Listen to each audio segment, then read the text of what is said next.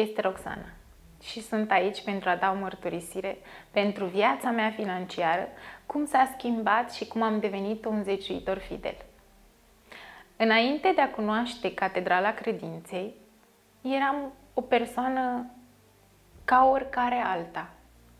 Însă, când am început să perseverez, să vin fiecare duminică la slujbă, să ascult cuvântul lui Dumnezeu, să pun în practică tot ceea ce spunea Părintele, să ascult și să citesc din cuvântul lui Dumnezeu, am primit o renoire, am primit forță, am primit imaginație, idei care le-am pus în practică și astăzi sunt o, o zeciuitoare fidelă Prima mea zeciuială a fost de 60-70 de lei, iar astăzi s-a dublat, s-a triplat.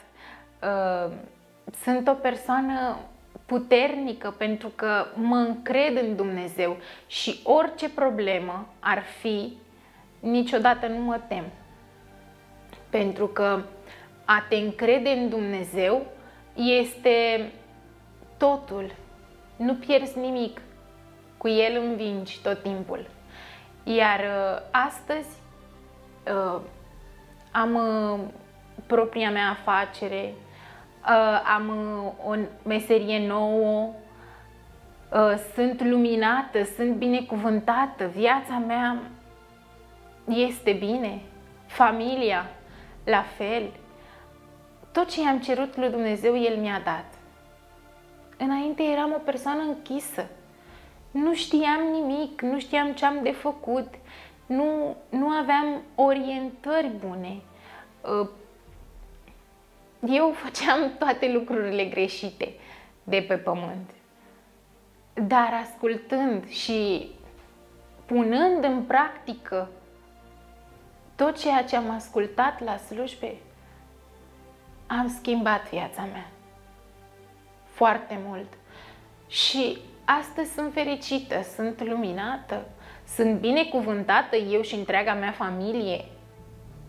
Am o viață prosperă și de calitate. Toți cei care urmăriți acest video, vă îndrum să veniți și să cunoașteți Cuvântul lui Dumnezeu și să cunoașteți, pentru că fără El noi pe acest pământ nu suntem nimic.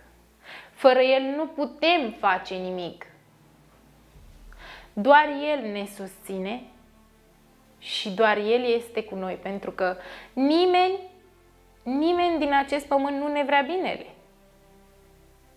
Toți sunt pentru ei, dar Isus ne iubește și are grijă. Și vă invit și pe dumneavoastră să deveniți un zețuitor fidel, așa cum eu am devenit să primiți lumina lui Dumnezeu și tăria lui. Și îndrum pe toți care nu aveți nimic să-L căutați pe Dumnezeu, pentru că El este singurul care ne poate da totul.